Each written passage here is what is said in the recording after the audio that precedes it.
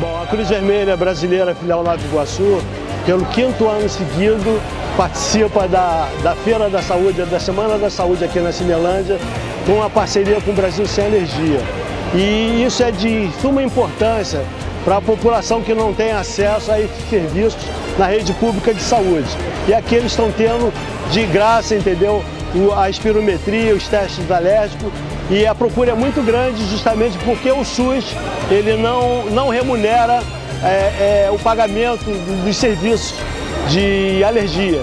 Então acho que é de muita importância para a população esse tipo de atendimento.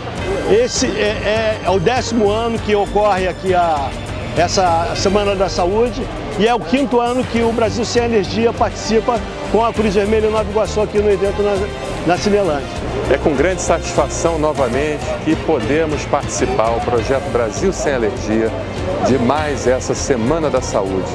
É muito bom, muito gratificante ver essa ação social para um país realmente tão sofrido, tão necessitado, principalmente na área da saúde, algo que realmente não deveria acontecer.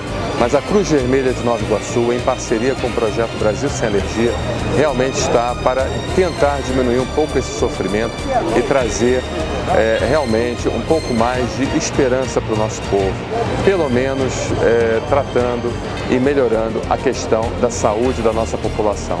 Pessoal, muito obrigado, agradeço muito ao presidente da Cruz Vermelha, Daniel Nascimento, que tem nos apoiado é, durante esse período todo, junto ao Projeto Brasil Sem Alergia, é realmente uma parceria de sucesso que tem, já, já está acontecendo há quase uma década, ou mais de uma década, se eu fizer as contas é, com mais precisão.